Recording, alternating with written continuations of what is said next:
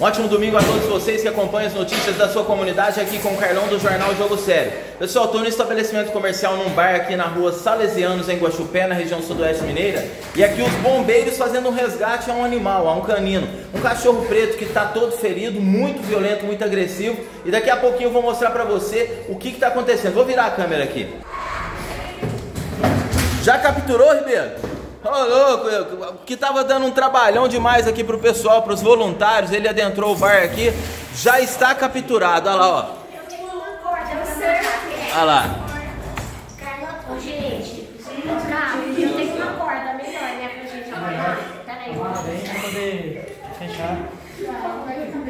Olha lá, pessoal, a emoção das voluntárias aqui, ó. Deu muito trabalho aqui.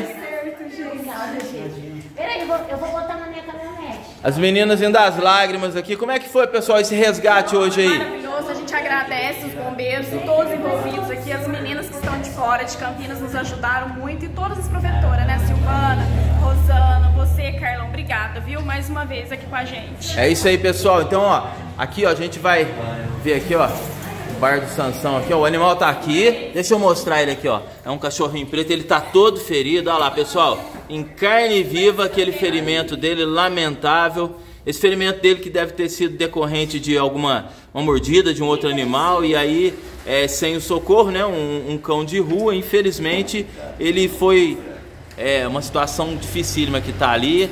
Agora, ô Silvana, o que, que vai ser feito agora? Qual é o destino dele? Nós vamos levar para o veterinário e provavelmente a gente vai, que a gente vai ter que fazer? Curá-lo, deixar ele bem forte, castrá-lo. Gente, eu imploro, vamos castrar todos os animais que moram na rua.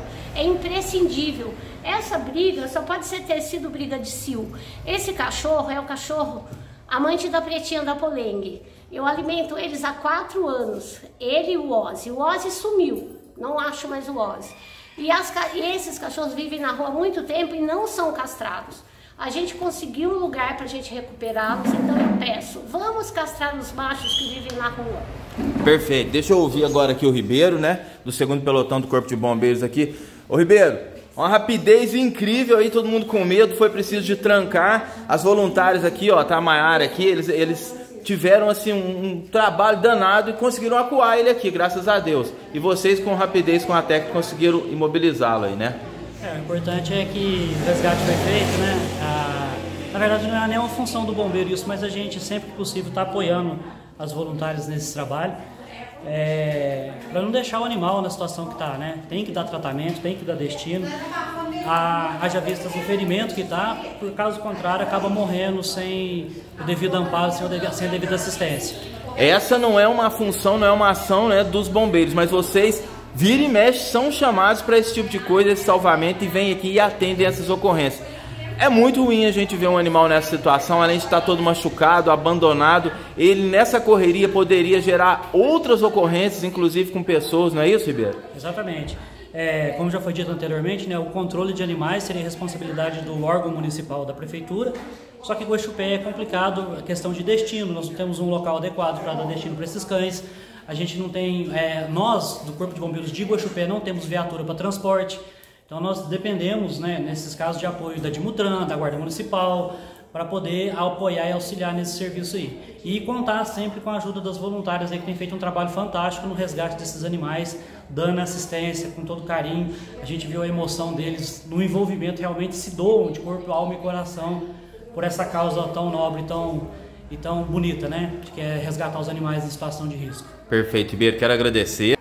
Agradecer ao Corpo de Bombeiros, as voluntárias que fizeram esse trabalho aí, viu? As meninas de Campinas, viu, que estão aqui, que correram atrás, conseguiram trazer o animal para cá. Também ao dono do estabelecimento aqui, que manteve fechado, né, até aqui. É, lembrar que o respeito cabe em todo lugar, viu, pessoal? Com os seres humanos, com os animais, a gente tem que ter sempre aí uma relação interpessoal ó, de cooperação, de amizade. O que aconteceu aqui agora, nesse final aqui feliz. Aqui nós já sabemos que a Polícia Militar foi acionada aqui, agora os bombeiros.